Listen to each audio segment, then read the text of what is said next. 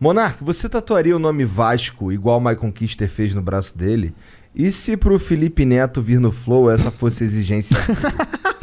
você tatuaria ou não vale a pena? Cara, ó, eu não duvido, ó. Acho interessante isso como experimento social. Eu faria? Nem fudendo. É- ainda tem essa tropa de gente querendo cancelar o Monark. Aí imagina o que a galera não vai votar pra você tatuar. Exato, não, tu pau no cu dessa porra, nem fudendo. Entendeu? Nem vou mais pro Rio, não. Pau no cu dessa porra. Se ele quiser vir aí, ele vem. Ah, ele já tá falando tudo enrolado. É. Não vou pro Rio, não. Se quiser, você vai sozinho.